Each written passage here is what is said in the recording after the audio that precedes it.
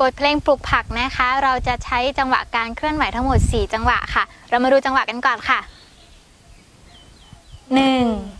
2 3 4 1 2 3 4 1 2 3 4 แล้วเราก็จะมาประกอบบทเพลงจากช้าๆ แล้วไปเร็วขึ้นนะคะ ลูกผักปลูกผักปลูกผัก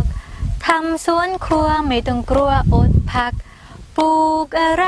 จะต้องรู้หลัก ปลูกอะไรจะต้องรู้รักจึงจะได้ผัก มาต้มแกงกินจึงจะได้ผัก มาต้มแกงกิน ปลูกผักปลูกผักปลูกผักทำสวนครัวไม่ต้องกลัวอดผัก ปลูกอะไรจะต้องรู้หลัก